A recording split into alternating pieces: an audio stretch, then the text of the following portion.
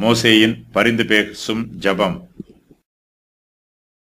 மோசே கர்த்தரை நோக்கி எகிப்தியர் இதை கேட்பார்கள். அவர்கள் நடுவிலிருந்து உம்முடைய வல்லமையினாலே இந்த ஜனங்களை கொண்டு வந்தீரே.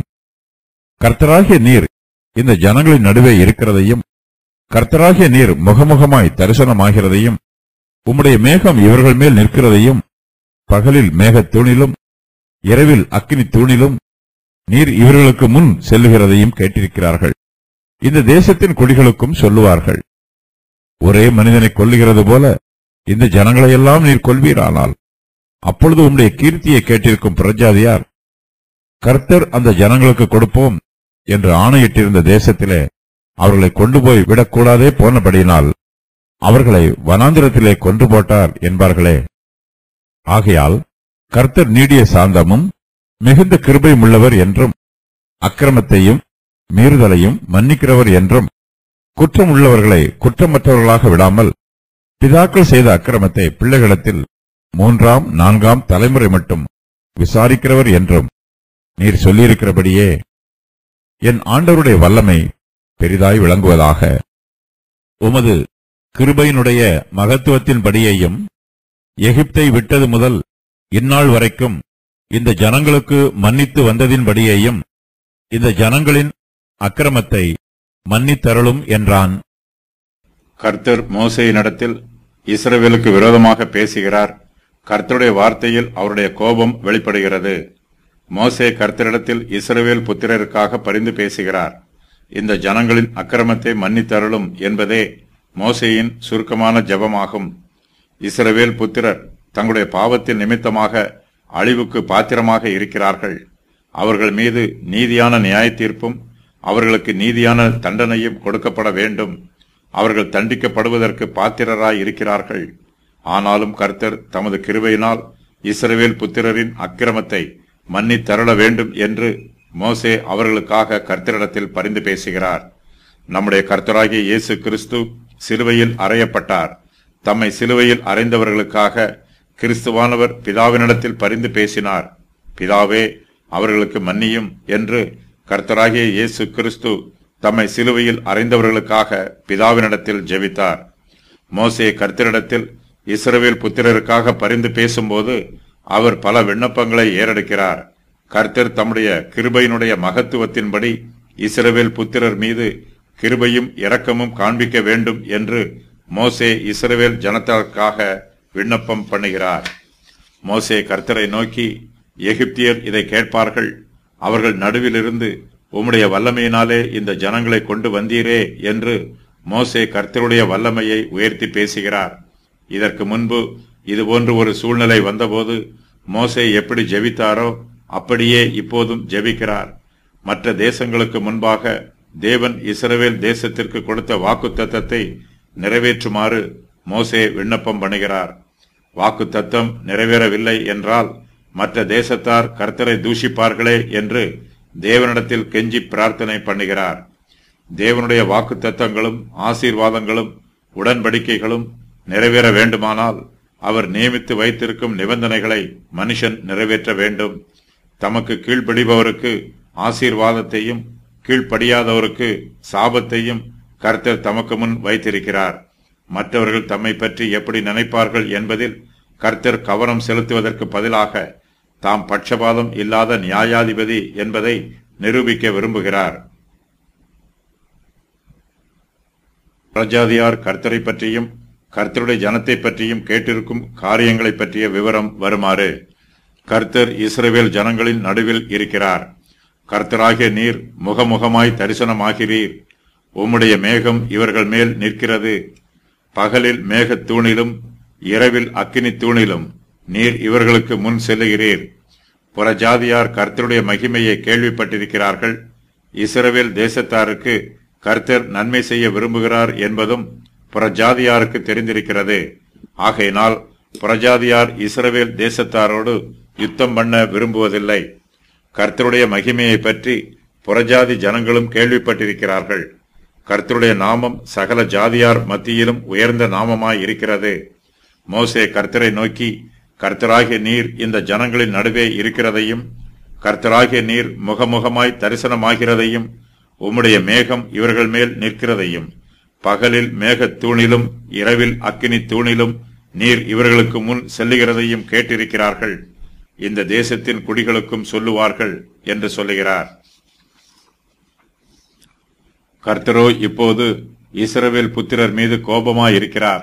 அவர்களை கொள்ளை நோயினால் வாதித்து அவர்களை சுதந்திரத்திற்கு புறம்பாக்கி போட ஆயத்தமாயிருக்கிறார் இந்த சூழ்நிலையில் மோசே கர்த்தரிடத்தில் இஸ்ரவேல் புத்திரருக்காக பரிந்து பேசுகிறார். மோசே கர்த்தரை நோக்கி ஒரே மனிதனை கொல்லுகிறது போல இந்த ஜனங்களையெல்லாம் நீர் கொல்வீரானால் அப்பொழுது உம்முடைய கீர்த்தியை கேட்டிருக்கும் பிரஜாதியார் கர்த்தர் அந்த ஜனங்களுக்கு கொடுப்போம் என்று ஆணையிட்டிருந்த தேசத்தில் அவர்களை கொண்டு போய் விடக்கூடாதே போனபடியினால் அவர்களை வனாந்திரத்திலே கொன்று போட்டார் என்பார்களே என்று சொல்லி பரிந்து பேசுகிறார். புறஜாதியார் கர்த்தருடைய கீர்த்தியை கேள்விப்பட்டிருக்கிறார்கள். கர்த்தர் தம்முடைய ஜனங்களை இதுபோல கொன்று போட்டால் புறஜாதியார் மத்தியில் கர்த்தரை பற்றிய மதிப்பும் கர்த்தருடைய ஜனங்களை பற்றிய பயமும் குறைந்து போகும். கர்த்தர் மோசையின் ஜெபத்தை கேட்டு இஸ்ரவேல் புத்திரரை ஒரே சமயத்தில் அழித்து போடுவதை நிறுத்திக் கொள்கிறார். ஆயினும் கலகம் பண்ணிய இஸ்ரவேல் புத்திரரை நாற்பது வருஷ காலத்தில் கொஞ்சம் கொஞ்சமாக அழித்து போட வேண்டும் என்பது தேவனுடைய திட்டம். இஸ்ரேவில் ஜனத்தார் கர்த்தருக்கு விரோதமாக கலகம் பண்ணுகிறார்கள். கர்த்தர் தங்களுக்கு செய்த நன்மையான காரியங்களை எல்லாம் மறந்துவிட்டு அவர்கள் அவிசுவாசமான வார்த்தைகளை பேசுகிறார்கள். கலகக்காரர்களை எல்லாம் கொள்ளை நோயினால் வாதிக்க வேண்டும் என்பது தேவனுடைய விருப்பமாய் இருக்கிறது அவர்களால் கர்த்தருடைய நியாய தீர்ப்புக்கு விரோதமாக கலகம் பண்ண முடியாது. அவர்கள் மீது கொள்ளை நோய் வரும்போது அவர்கள் எல்லோரும் மொத்தமாய் அழிந்து போவார்கள். இஸ்ரேவேல் ஜனத்தார் அழிந்து போவதை எகிப்து தேசத்தில் உள்ள ஜனங்களும் கேள்விப்படுவார்கள். காத் ஊரில் உள்ள ஜனங்கள் இஸ்ரேவேல் ஜனங்கள் அழிந்து போனதை பற்றி சந்தோஷமாய் பேசிக் கொண்டிருப்பார்கள் ஆஸ்கலோன் பட்டணத்து வீதிகளிலே இஸ்ரேவேல் புத்திரரின் அழிவை பற்றி கதை கதையாக பேசிக் கொண்டிருப்பார்கள் கர்த்தருடைய ஜனம் அழிந்து போவதை பார்க்கும்போது புறஜாதி ஜனங்களுக்கு மிகுந்த சந்தோஷம் உண்டாகும். புறஜாதியார் தங்கள் இருதயத்தில் பெருமைப்படுவார்கள். புறஜாதியாருக்கு இஸ்ரவேல் புத்திரரின் பாவமும் தெரியாது. அவர்களுக்கு கர்த்தருடைய நீதியான நியாய தீர்ப்பும் புரியாது. அவர்கள் கர்த்தரை பற்றி தப்பிதமாய் புரிந்து கொள்வார்கள். இஸ்ரவேல் ஜனத்தார் அழிந்து போவதை பார்க்கும்போது கர்த்தருடைய வல்லமே குறைந்து போயிற்று என்று ஏளனமாய் பேசுவார்கள். மோசே இஸ்ரவேல் புத்திரருக்காக கர்த்தரிடத்தில் பரிந்து பேசும்போது என் ஆண்டவருடைய வல்லமை பெரிதாய் விளங்குவதாக என்று சொல்லுகிறார். கர்த்தருடைய நாமம் ஓரேபிலே மகிமை உள்ளதாக அறிவிக்கப்பட வேண்டும். கர்த்தரே தம்முடைய நாமத்தை வெளிப்படுத்தி இருக்கிறார். கர்த்தர் அவனுக்கு முன்பாக கடந்து போகிற போது அவர் கர்த்தர் கர்த்தர் இரக்கமும் கிருபையும் நீடிய சாந்தமும் மகா தயையும் சத்தியமும் உள்ள தேவன். ஆயிரம் தலைமுறைகளுக்கு இரக்கத்தை காக்கிறவர். அக்கிரமத்தையும் மீறுதலையும் பாவத்தையும் மன்னிக்கிறவர். குற்றவாளியை குற்றமற்றவனாக விடாமல் பிதாக்கள் செய்த அக்கிரமத்தை பிள்ளைகளிடத்திலும் பிள்ளைகளுடைய பிள்ளைகளிடத்திலும் மூன்றாம் நான்காம் தலைமுறை மட்டும் விசாரிக்கிறவர் என்று கூறினார்.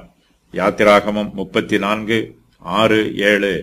மோசே கர்த்தரிடத்தில் இஸ்ரேல் புத்திரருக்காக பரிந்து பேசும்போது அவருடைய நாமத்தை தன்னுடைய விண்ணப்பத்தில் சொல்லி ஜெபம் பண்ணுகிறார். கர்த்தர் தம்முடைய நாமத்தை மகிமைப்படுத்த வேண்டும் என்பது மோசேயின் விண்ணப்பமாய் இருக்கிறது கர்த்தர் இஸ்ரவேல் புத்திரரை தண்டித்து திருத்துவதற்கு விரோதமாக மோசே ஒன்றும் சொல்லவில்லை. மோசே கர்த்தருடைய தண்டனைக்கு விரோதமாக ஜெபம் பண்ணவும் இல்லை.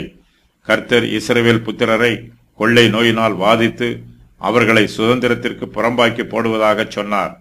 கர்த்தர் தம்முடைய கிருபையினால் இஸ்ரவேல் புத்திரருடைய பாவங்களையும் அக்கிரமங்களையும் மன்னித்தரள வேண்டும் என்றும் அவர்களை தம்முடைய சுதந்திரத்திற்கு புறம்பாக்கி போடாமல் தம்முடைய ஜனமாக ஏற்றுக்கொள்ள வேண்டும் என்றும் மோசே கர்த்தரிடத்தில் விண்ணப்பம் பண்ணுகிறார்.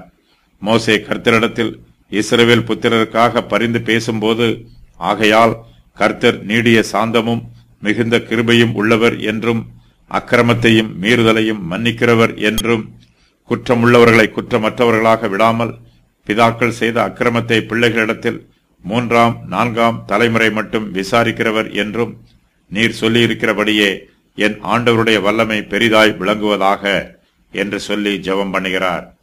பாவம் செய்தவர்கள் தங்கள் பாவத்திற்காக மனம் திருந்தி தேவனிடத்தில் பாவ அறிக்கை செய்து பாவ நிவாரண பலி செலுத்தும் போது கர்த்தர் அவர்களுடைய பாவங்களை மன்னிக்கிறார்.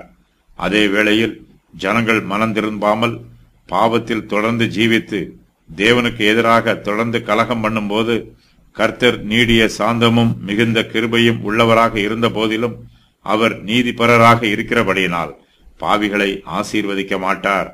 எனக்கு விரோதமாக பாவம் செய்தவன் எவனோ அவன் பேரை என் புஸ்தகத்தில் இருந்து கிறுக்கி போடுவேன் என்று கர்த்தர் ஏற்கனவே கூறியிருக்கிறார்.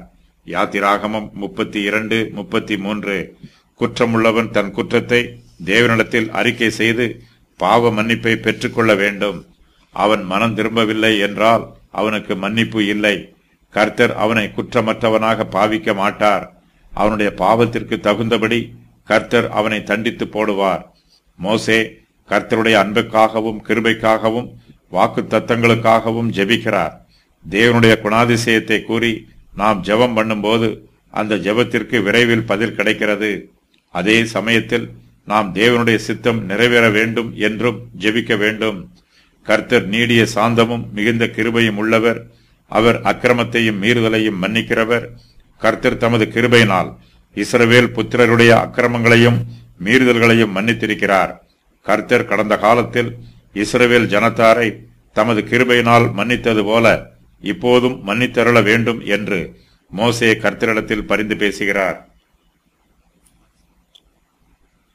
மோசே கர்த்தரை நோக்கி உமது கிருபையினுடைய மகத்துவத்தின்படியும் எகிப்தை விட்டது முதல் இந்நாள் வரைக்கும் இந்த ஜனங்களுக்கு மன்னித்து வந்ததின்படியேயும் இந்த ஜனங்களின் அக்கிரமத்தை மன்னித்தருளும் என்று விண்ணப்பம் பண்ணுகிறார். பழைய ஏற்பாட்டு காலத்தில் பாவிகள் ஜபிக்கும்போது எகிப்தை விட்டது முதல் இந்நாள் வரைக்கும் இந்த ஜனங்களுக்கு மன்னித்து வந்ததின்படியே என் அக்கிரமத்தை மன்னித்தருளும் என்று ஜெபிப்பது வழக்கம். லூகா பதினெட்டு பதிமூன்றாவது வசனத்தில் ஆயக்காரன் ஜெபித்தது இந்த ஜெபத்தை போன்று இருக்கிறது. எகிப்து தேசத்தை விட்டு புறப்பட்ட போது கர்த்தர் தங்களை மன்னித்தது போல மறுபடியும் மன்னிக்க வேண்டும் என்று மோசே கர்த்தரிடத்தில் விண்ணப்பம் பண்ணுகிறார். கர்த்தர் இஸ்ரவேல் புத்திரருடைய அக்கிரமத்தை மன்னிப்பதினால் அவருடைய நீதிக்கு களங்கம் ஏற்படாது. கர்த்தருடைய கிருபைக்கும் இரக்கத்திற்கும் நிந்தை உண்டாகாது. கர்த்தர் ஏற்கனவே தமது கிருபையினால் இஸ்ரவேல் புத்திரருடைய அக்கிரமங்களை மன்னித்திருக்கிறார். அதே கிருபையினால் அவர் இப்போதும் இந்த ஜனங்களின் அக்கிரமத்தை மன்னித்தருள வேண்டும் என்றும் இதன் மூலமாக கர்த்தருடைய வல்லமை பெரிதாய் விளங்கும் என்றும் மோசே கர்த்தரிடத்தில் விண்ணப்பம் பண்ணுகிறார்.